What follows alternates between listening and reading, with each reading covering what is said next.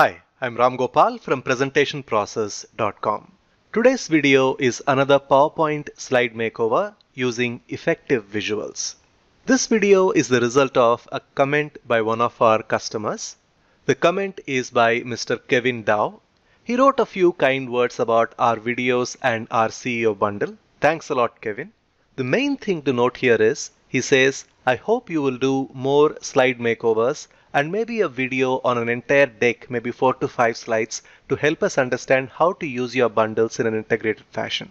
In fact, for quite a while, we have been thinking about creating a series of simple slide makeovers to help our customers like CEOs, business owners, executives, senior executives, business unit heads, doctors, training consultants, consultants in general, course creators, and all those who use slides for their profession. The reason is we have seen quite a few slide makeovers on YouTube and on various websites. There are a few issues I saw in those makeovers. In some of them, there is a lot of focus given on improving the content, but the resultant slide doesn't really look visually appealing. In some other examples, which are actually many, people have tried to provide cosmetic makeovers, thereby foregoing the details. There is absolutely no pointing in makeover a slide purely for aesthetic purposes when you forego the basic details involved in a business presentation. So we thought it would be useful for our customers to create these simple slide makeovers so they can design their slides effectively. Another problem we saw in these makeovers is most of the times the before and after slides were created by the presenters themselves. So the entire makeover process looks a bit artificial.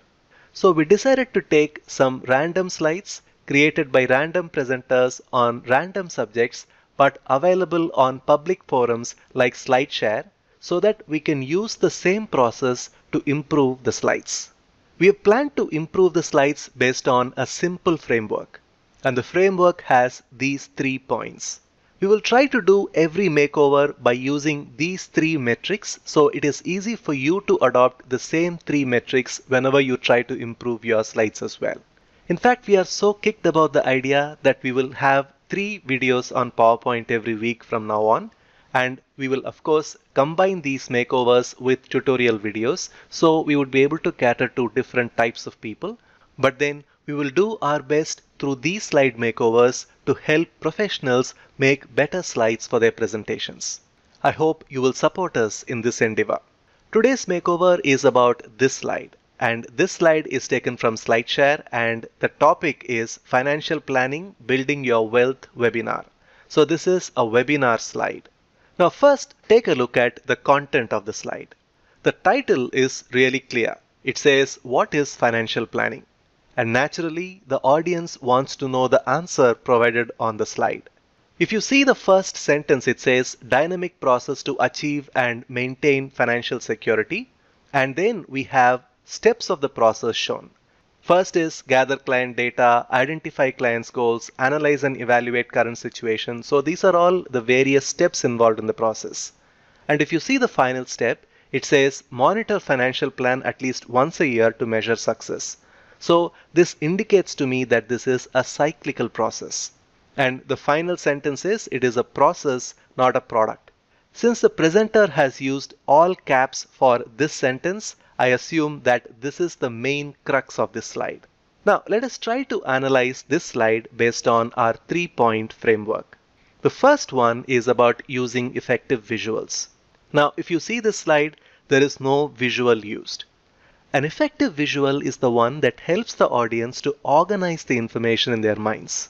The right visual in this case would have been a cyclical process or a circular process because these are the various steps of the process and that would have helped the audience to remember the information far better and understand the relationship between the elements.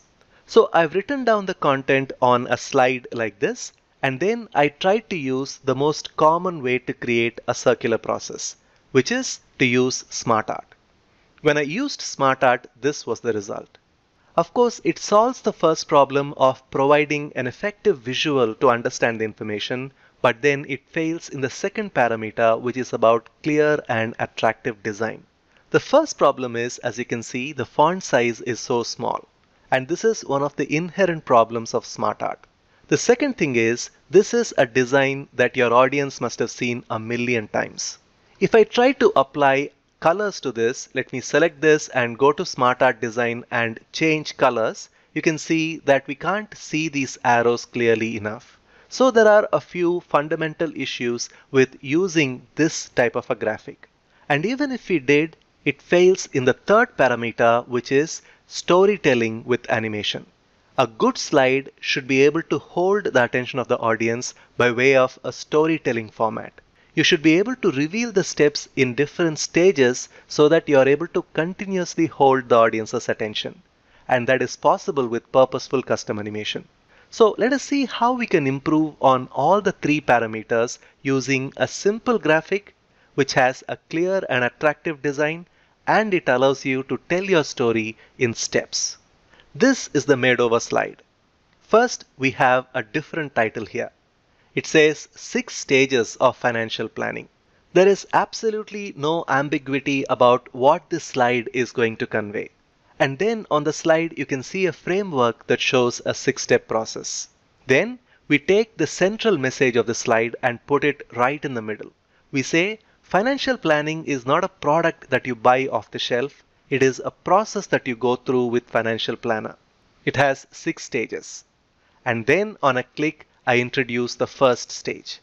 Can you see we had the framework to start with? Now we have drawn the viewer's attention to one step of the process. Then I explain in detail what happens in the stage which is about gathering client data. Once I finish explaining, I move the viewer's attention to the second stage which is about identifying client goals. Then we move on to the third stage on click and explain, which is to analyze and evaluate current situation. The fourth stage is to develop planning recommendations. The fifth stage is to implement the financial plan. And the final stage is to monitor the plan yearly so it forms a cycle. Now, this is an effective visual that helps the audience to organize information. Second, there is clarity in design because it is easier for the audience to read the text. And third, with purposeful custom animation, you are able to tell your story in stages.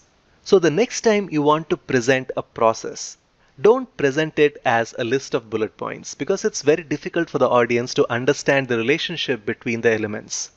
Try to use a simple visual that helps them organize the information. By the way, this graphic comes from one of our templates in comprehensive all-in-one PowerPoint templates bundle.